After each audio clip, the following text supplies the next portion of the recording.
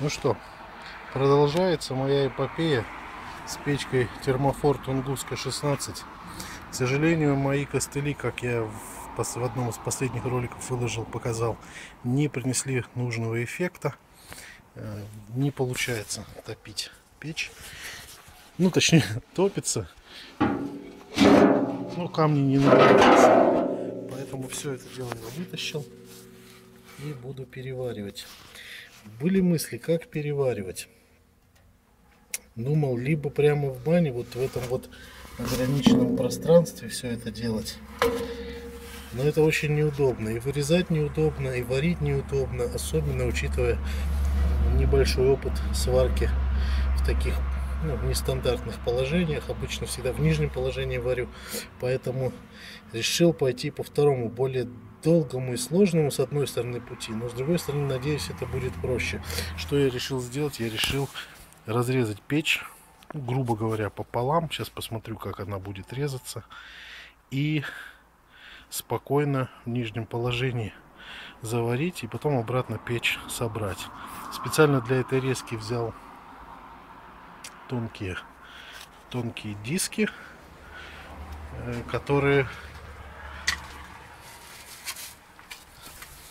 вот такие вот. Один миллиметр толщиной.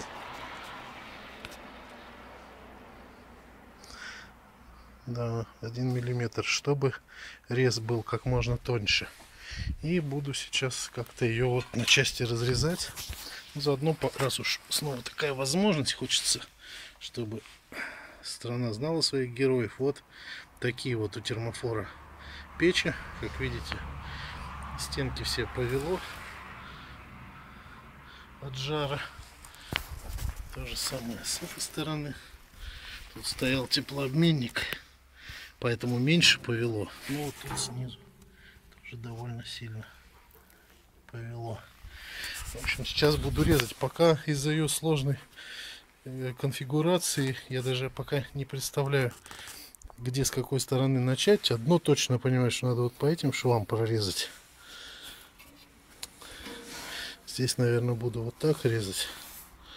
А там дальше посмотрим. В общем буду резать буду показывать. Так ну вот два реза есть в общем-то получается теперь здесь есть рез получается теперь как-то больше понимания приходит что дальше резать. Думаю здесь вот так вот по краям надо резать и там с той стороны также. Как здесь. Сейчас посмотрим. Перевернул ее и на солнышке стало видно здесь вот эти сварные швы с той стороны. Значит соответственно буду резать вот так вот чтобы их обойти. С той стороны наверное так же. Ну в общем с четырех сторон вырезал. И оно уже вроде бы как бы шатается. И вроде бы как бы должно выйти но не выходит. А изнутри там есть что-то вот типа как бы такое ребро жесткости, на котором все держалось, и видимо из-за него она не выпускает. Так как все равно его нужно будет удалять, его надо там срезать. Болгаркой туда не залезть, сейчас буду резать сваркой.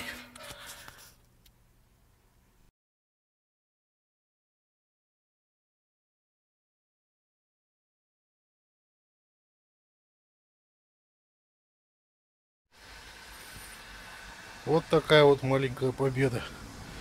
Вырезал. Здесь сваркой отрезал. И вот в результате что имеем. Вот она эта каменка. С моими прежними попытками ее спасать. И вот так вот порвался и погорел металл. Хромированная нержавейка. Какой-то уголок был приварен, якобы как ребро жесткости или что-то такое. В общем, вот теперь это нужно как-то заменять, ремонтировать, реставрировать. Вырезал днище. И насколько смог его, конечно, подровнял, но все равно идеально не получилось из-за того, что его тут вытягивало. Поэтому ровно по месту обчертил кусок стали.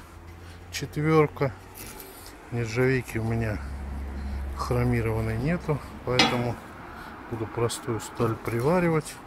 Сколько-нибудь послужит а там глядишь может и печку заменим. В общем вот так вот. Теперь надо зачистить места сварных соединений да и варить уже В общем, взял лист четверки, приварил, обварил со всех сторон. Не везде это легко получалось. Дырочки где-то были, но тем не менее обварил кое-как. И еще и снутри проварил. Тут, правда, вообще сложно туда залезать. Ну, как проварилось, так проварилось. Сколько простоит, столько простоит. В общем, теперь осталась сборка печки обратно собрал на прихватках. В общем, получилось так, что кое-где швы довольно тоненькие, но поэтому их заварить будет несложно. А кое-где довольно широкие. Тут, наверное, придется помучиться, чтобы это заварить, но так получилось. В общем, осталось все это дело собрать.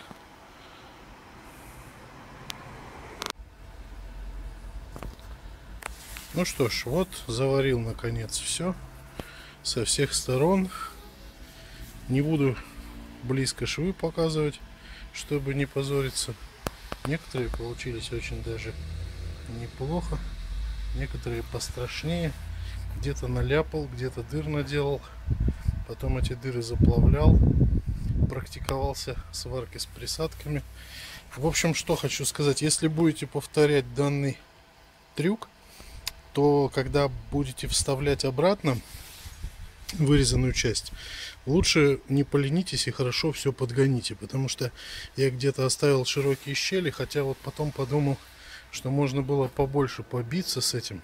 Ну, ее же всю повело, и поэтому все так ровненько не вставало. Но можно было, лучше бы я подольше ее бы вставлял, но потом быстрее бы заварил, чем я вот эти все дырки плавил.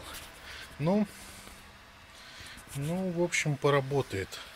Во всяком случае, это лучше, чем купить такую же за 17 тысяч. Я как раз на днях в магазин заходил, узнавал. Ну и пока поработает, а там дальше видно будет.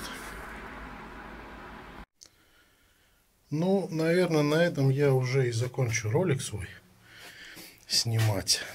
Потому что Осталось только собрать печку и затапливать, протапливать. Я потом в комментариях расскажу, как все это дело пройдет. В общем, последний штрих, что я все-таки сделаю, я... Извините за шум. Положу вот эту дверцу сюда, чугунную, чтобы хотя бы вот тут яму не прогибала. И дальше уже наложу камней. Поставлю теплообменник, всю эту кожу, воду подключу и буду уже завтра топить. Так что вот такая вот история, как я продлевал жизнь печи Тунгуска 16 от компании Термофор. Если вас не затруднит, то поставьте мне, пожалуйста, за мои старания справедливую оценку и дайте мне один другой комментарий какой-нибудь полезный. Спасибо всем за внимание.